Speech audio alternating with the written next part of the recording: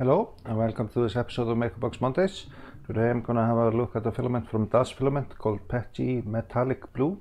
So let's have a look after the intro.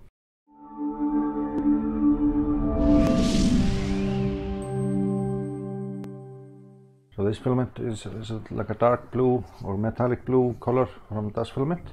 But let's have a look at the label and, and see how it looks. Here say that it's a PETG material, print temperature should be 210 to 240.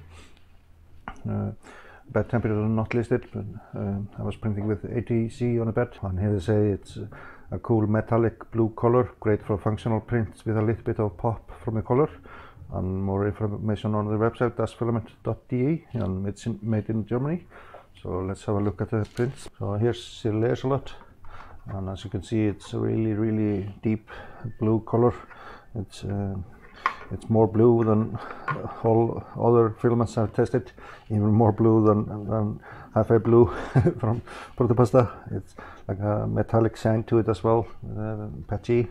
So it's a metallic shiny look and really good print quality. A tiny amount of stringing, but nothing too serious. And it looks pretty cool. Um, here's my maker coin. Uh, that came out excellent. Absolutely no issues uh, in this print. And the letters came out fine on the picture, uh, no issues. Then printed the Otis model by Gareth, and that came out excellent as well. Really shiny. You can see here a tiny amount of stringing, but not too much for a patchy. I sometimes get more stringing with patchy. And the undersides here uh, really good. There's a tiny amount of cooling issue here at the top, so I might have to slow it down a little bit. Uh, at the top layers. Um, here's Mr. Belly, and that came out excellent. Normal drooping issues here under the arms. It's uh, too steep of overhang for almost uh, any material. but it looks really smooth and, and nice.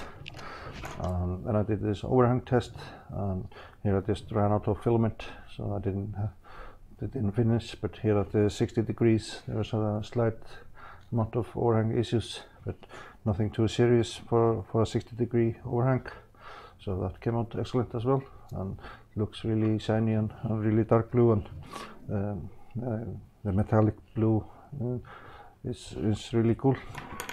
So that was a quick look at the PETG from Das Filament. It was really, really blue, the most blue filament like I said I've ever seen I think and very shiny filament and print and print quality was excellent. I was really happy with this filament.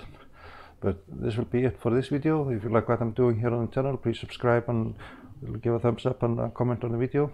So for now, I thank you for watching and I'll see you in the next one.